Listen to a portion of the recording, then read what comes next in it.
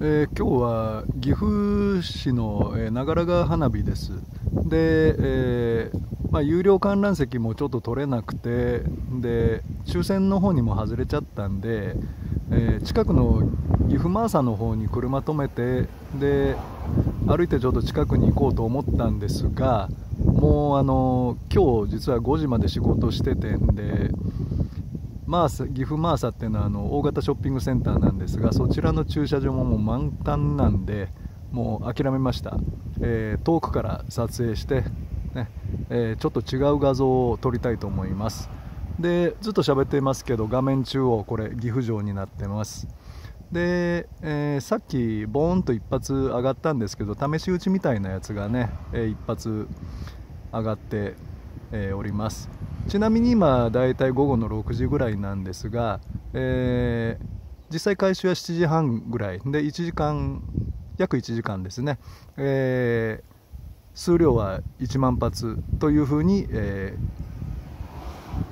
ー、発表されております。花火も4年ぶりになるんですかね、えー、しばらくやっておりませんでしたけど昔っていうかコロナ前は岐阜の花火や長良川の花火2つあったんですよ、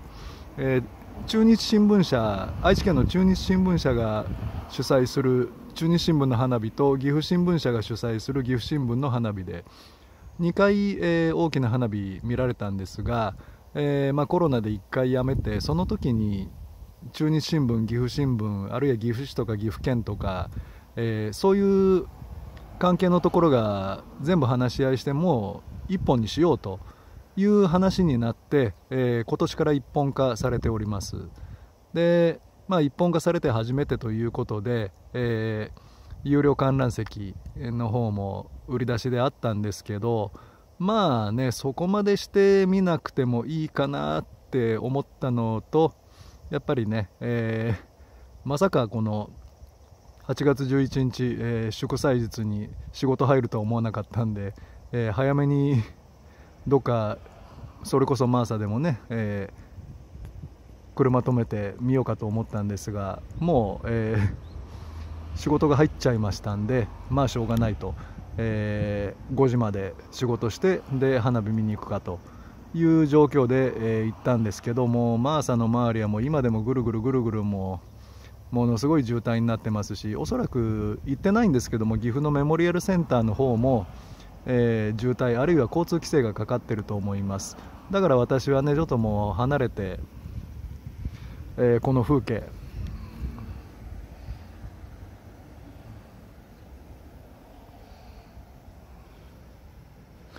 えー、こちらの方からね、え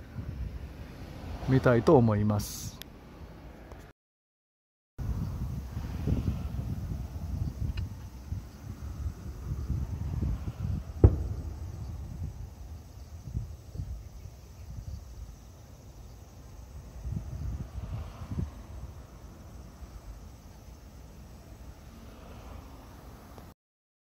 時刻は7時、えー、45分あたりなんですけど何かトラブルがあったようで花火が全然始まっておりません、えー、家で家族が、まあえー、花火の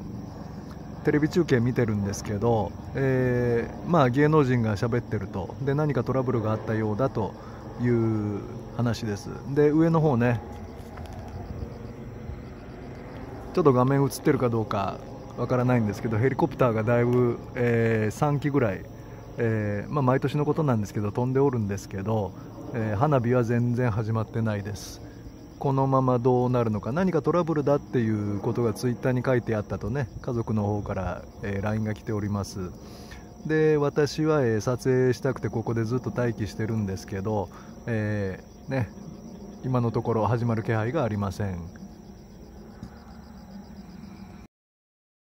えー、地元のテレビ見てるうちの家族から LINE が来ましてえー、間もなく始まりますということでテレビ番組で言ってたというそういう内容の LINE が来ております。ただまだね始まる気配は、えー、ありません。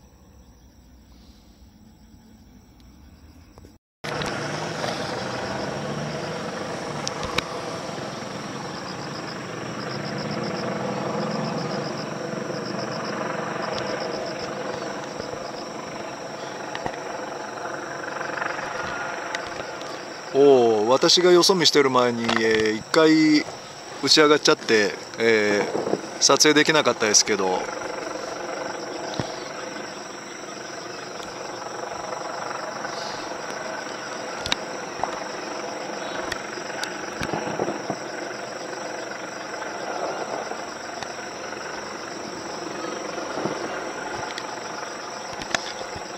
今回横にも広いですね。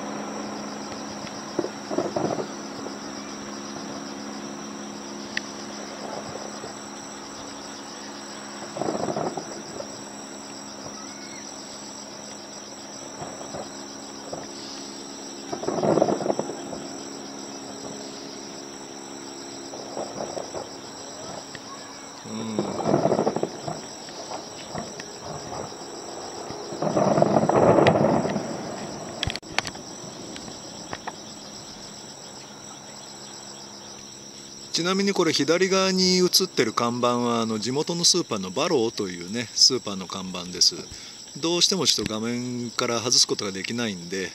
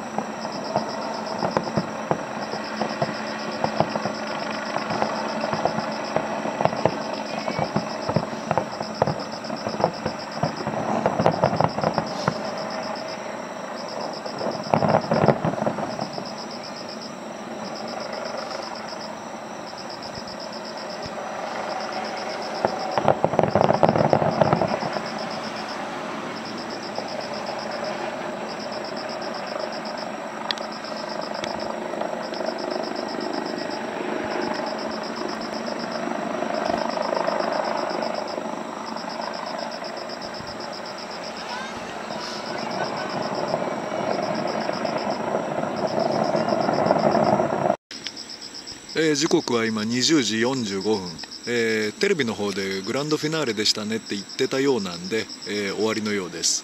ちょっとピンボケ今回多かったんですけど申し訳ないですが、えほぼ全部撮影できたと思います。じゃあ以上です。